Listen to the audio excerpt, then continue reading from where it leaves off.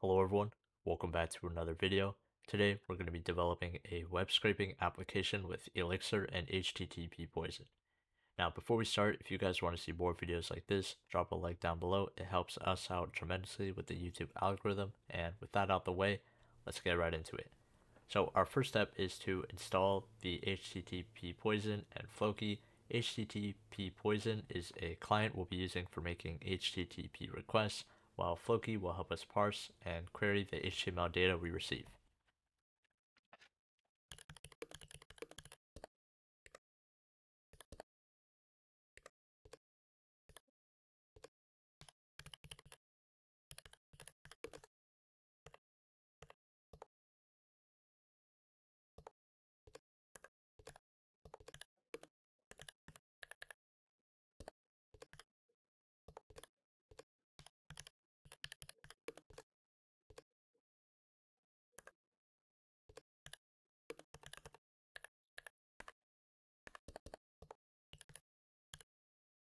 Alright, so with that out of the way, we can include these libraries um, with the deps function in the main mix.exs file or whatever yours is named.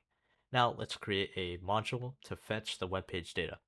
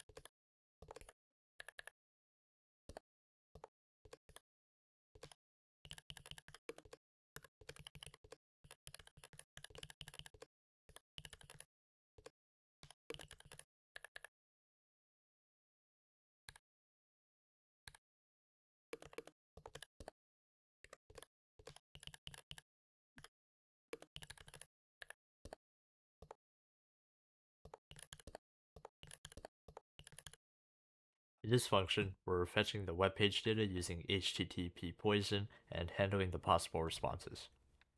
Next, let's use Floki to parse this HTML data and extract the data we're interested in.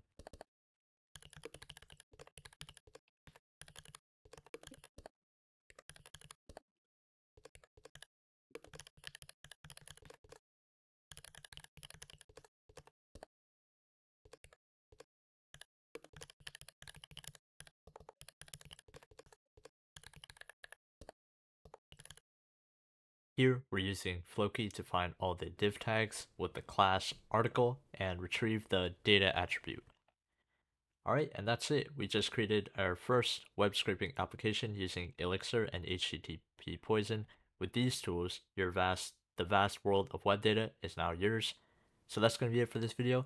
If you guys found it helpful, drop a like down below, drop a comment, and we'll catch you in the next one.